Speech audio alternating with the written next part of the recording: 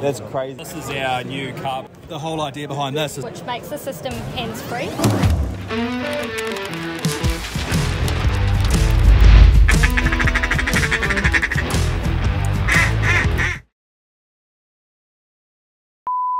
So we're here with Matt with Kea. Um, yeah, just tell us a bit more about it and what it's all about. And Yeah, so I was a um, I was a fly fishing guide for uh, five six years for this, and then COVID shut that down. So I ended up figuring out what I used to carry, and I used to carry everything I owned and uh, everything I needed to carry in like a lunchbox in the bottom of my bag, and it was just a nightmare. So I thought I'll find a way to carry it better uh, for myself. So I ended up thinking about the five things I needed: so shelter, fire, tools, water, and medical. And then I so I broke them down into categories put them in individual uh, pockets so that I can um, take what I need when I need it. I don't have to take the whole thing. Yeah. So sometimes I'll take the shelter. Most of the times, like day trips, I just take the medical. Maybe take the fire kit if I feel like it. So this is the broken down version of it. Yep, this is everything. full kit. Yeah, this is everything. That's it laid out, and that's everything that's in it. So Cool. It's pretty small for everything that it comes with. yeah, it's packed down. I mean, it took a lot of took me about a, a year to design it to get it to get it compact enough to make it pack down well, and make sure everything was the right size and make it fit. So it was a bit of a mission. So, but it came out all right. And with your usables like bandages, all that kind of stuff, do you have like refills for that stuff as well? Yeah, so I got extra gear like all the tinder and stuff, and Yep. I've got first aid kits and stuff, so you can top it up. But you can also add your own stuff. So like the fire kit only has the the ferro rod and the tinder, but uh, I've Yep. made it so you can put your own lighters and matches in it as well. So there's room for it because you obviously want to have a backup. And does it come with like the guide and inf- and first aid information? Yep, so that sits behind there. Nice. And then that's inside the medical kit, so cool. everything's good to go. So it's all in one thing. The handy thing is I just leave, like I said, leave it underneath the seat and then grab it when I need it and take what I want.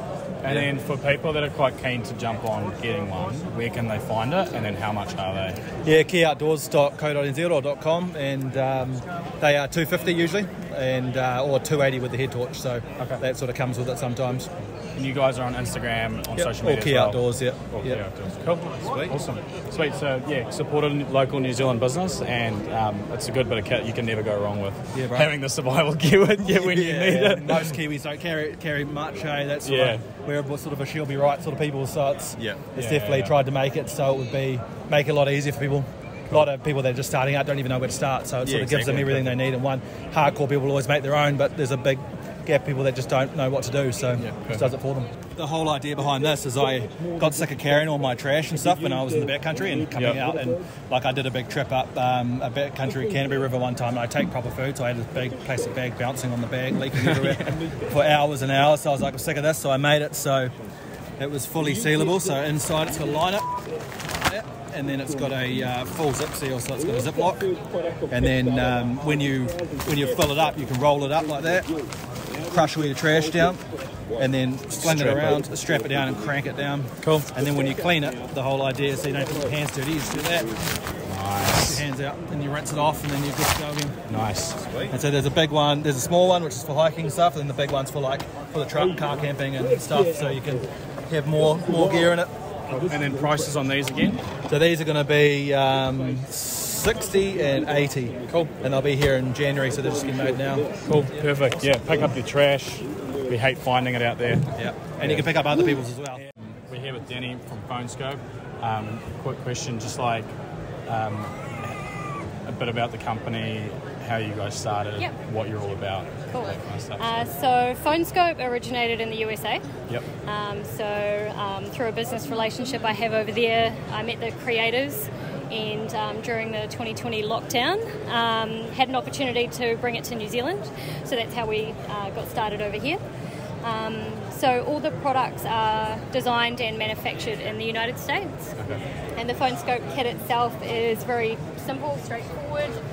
Um, it's a phone case that fits onto your phone itself and an optic adapter that fits onto uh, your spotting scope or binoculars. Uh, the pieces just twist together, very simple, and then they fit straight onto um, your kit like this. So straight onto the eyepiece. So you'll get it made for a specific spotting scope.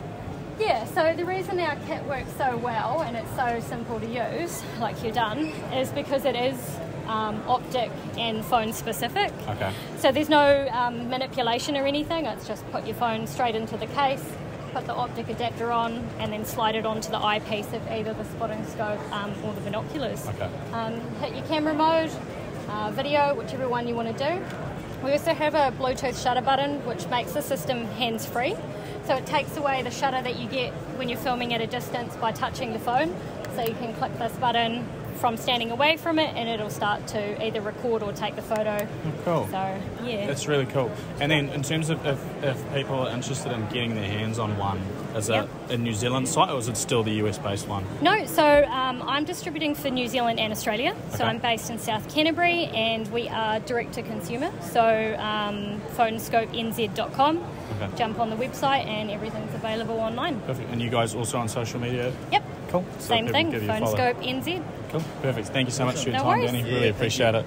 Thanks, yeah, guys. we'll catch you around, eh? So I'll give you the rundown on our on our new bipod that we just released. So this is our new carbon notched bipod, and this really comes into its own with its leg adjustment. So Yep. you've got that fully spring-loaded leg.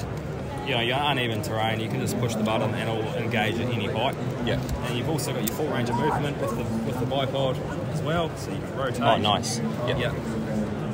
Attaches and detaches it, uh, detaches it, push of a button, installs into your sling attachment point, so you don't have to modify your rifle either. Okay. Yep. Yep. So you just remove your sling stud and you screw there. Yeah. and, And, uh, it's just a oh yeah, it's just like a Yep. bolt. Yep. Yeah. Yep. So the bipod engages onto that ball. Yeah. Yep.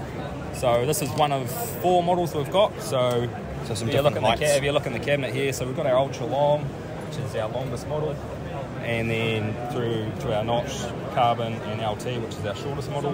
Yep. And uh, also new to the show is we've got our tripod over here.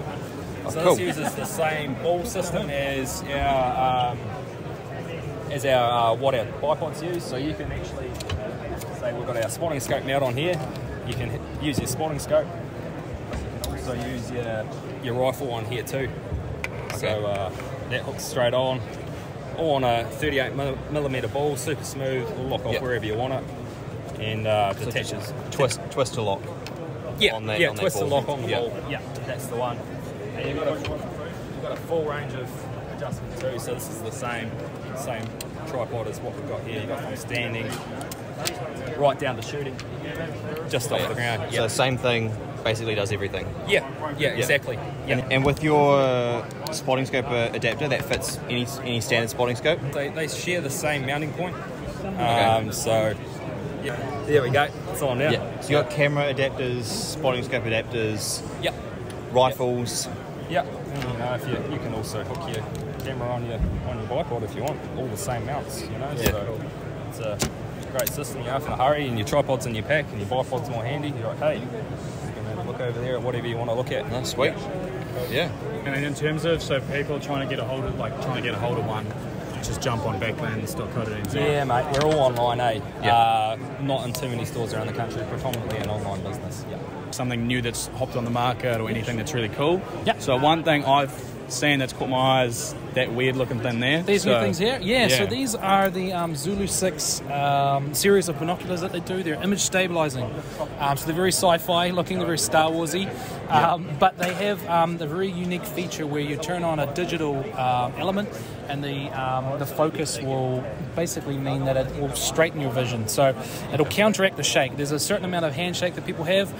If it's noticeable or not noticeable, that affects your image downrange, Yep. um, which will make it blurred very slightly. Now that counteracts that, and so it actually becomes a lot more clearer than you're than you're used Cool. to. So they offer it in 10 by 30s, and then they do it in some 10 by 16s, uh, some 16 by 42s rather. Is there any chance we could have a quick look Absolutely, through yep. it? So just um, pull that in like you normally would, and Yeah. then um, flick that forward and ready to That, go. that, that stabilizes. That stabilizes. Yep. We'll get a reaction out of Callum, mate. That's crazy. Like off, it's moving heaps. So what happens when you're looking at bush or you're looking at a, open tops or whatever? Um, when you're looking at it, your targets, uh, it's hard to find definition if you've got that shake. Things will be a little bit blurred. Um, this really helps you to pick out movement. Um, it does feel a little bit funny. You can get a little bit seasick, but like slow motions, yeah, it's slow mo's everything, and you notice it massively. Eh? It's a it's a big difference. Um, the 16 powers have been really popular. These are the nice little compact 10s. Yeah. But the 16s are a little bit larger, a little bit heavier, um, Yeah. but they're awesome for doing. You know, it almost eliminates that need for um, you know your low power spotting scopes Yeah, because you've yeah. got such a stable platform. Oh, yeah.